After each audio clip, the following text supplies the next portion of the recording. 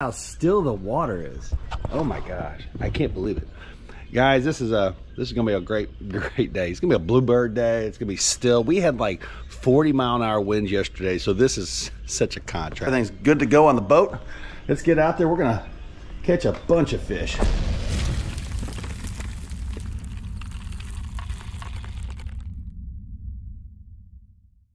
Now as the boat lowers, I wanted to talk about this real quick. You know, I was asked to kind of explain some things to some people, um, and I think it's good. I think it's education. So, bait pop is not just about seeing it on live sonar, though that's number one.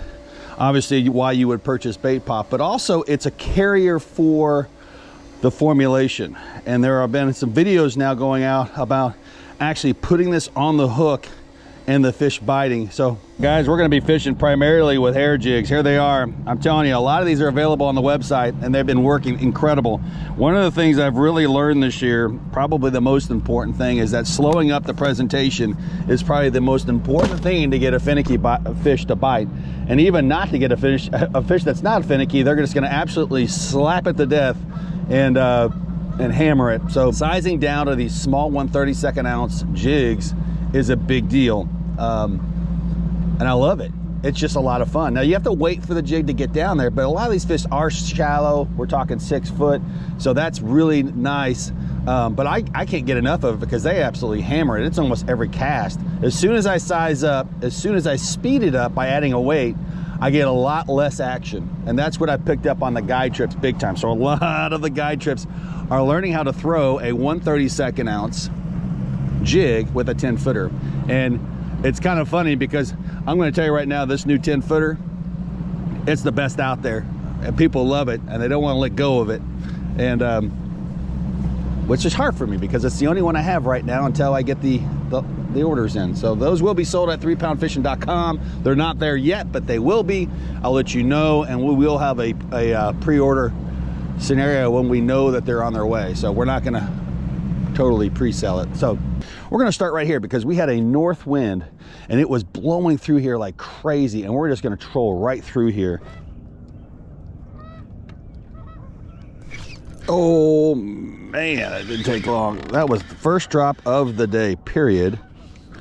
And there is a nice solid eater as we call it here at our lake. It's about an 11 inch fish. Nice thick back and of course we're letting them go, but that's a right there that's a great start. And look, look what I'm using, folks. A 132nd ounce jig. That fish was 10 foot down. We've got 48 degree water temperatures, which is what it's been. Uh, we have not found the the absolute ton of fish yet. We just this is the first spot that was the absolute first drop, and um, we were successful. So it don't really matter. It was a good fish, good solid fish. And we're just, right now, first thing I do in the morning, guys, is I go to the points of a main lake and I would be looking for what point has the active fish on it. Or not active fish, just fish in general, really what we're looking for. I mean, it's, uh, I haven't been on the water in a while, obviously. I've been down in Grenada, that was fantastic. And so getting out here trying to identify where the fish are before guide trips that are coming up.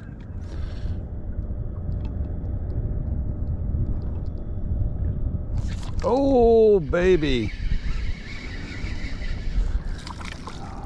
That is a baby. That is a baby. Well, folks, we had to take a break, had to do some work stuff, and we just got back out here. Same day, just a different time.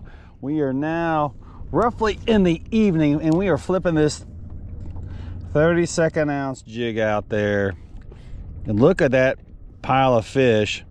This, this wind has done an absolute reverse. Here I am falling in right here. Has done an absolute reverse in the middle of the day from when it was this morning. Going exactly the opposite direction. And here I am falling right here. You can see it right here. There.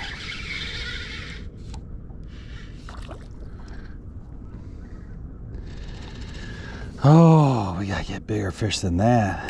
That is a monster. Not really. There it is falling in right there. You can see it clear as day right there.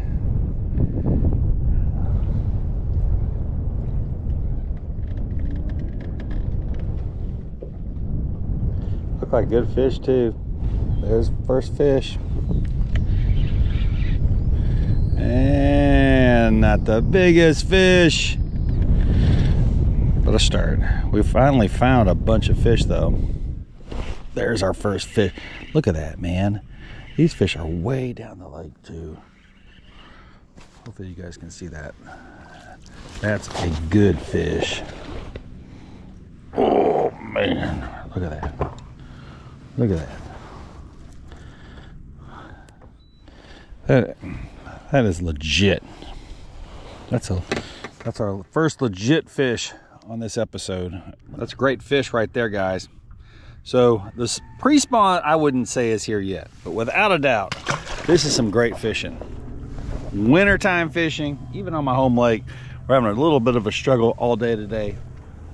Big wind shifts, these type of things are going to change the the atmosphere. They're going to change what these fish are doing. So they're moving back and forth. It's what we call a moving day on my home lake. But got the new three pound fishing rod. I got the sniping braid. Everything's working. And uh, as the sun goes down, I'm hoping we're going to have some some good activity. But there it is. Bam. That's a good fish. One of the best on the pile, look like. We're gonna find out. Oh yeah. Like I said, I put this table, this uh, jacket on. I'm sorry, not table. This jacket. Look at that. That is a good fish right there.